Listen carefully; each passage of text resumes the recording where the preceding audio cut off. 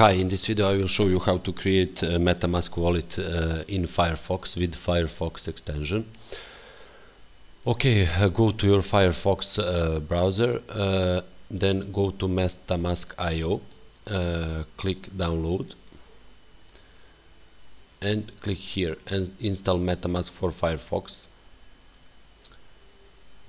Click here uh, that you want to add extension to Firefox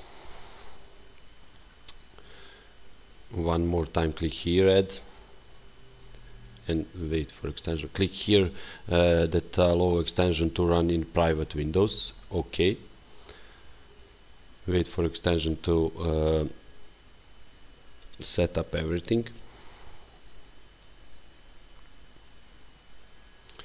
It's okay you will see favicon uh, fox favicon of metamask here. Click on that and it will show you uh, this screen. Click get started. This is for importing wallet if you already have wallet but now we will create new wallet. Click on create and uh, just read everything here. It is important for you. Click agree. You need to set up your password. I will set up some password but I recommend you that you set up a very strong password. After that click on this box to uh, agree with terms of use and click create. Now uh, here is your uh, secret words 12 secret words and that is access uh, to your uh, wallet. Uh, don't give these words to anyone just store it in the safe place write it down on some of uh, piece of paper. Uh, when you click here you will see uh, 12 words copy that words and paste it in some uh, uh, text file or something because you need to put it in the right way in the next step. Click next now you need to type it in this box uh, uh, uh, no sorry not typing. Type it uh, just to uh, click in uh, right order to set up your wallet. Okay we will have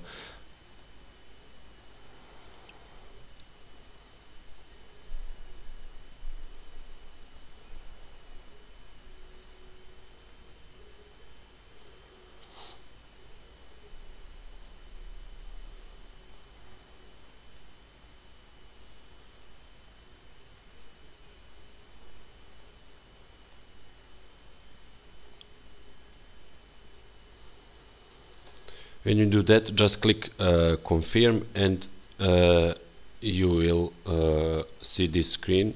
Congratulations you you have a new metamask wallet and just click all done.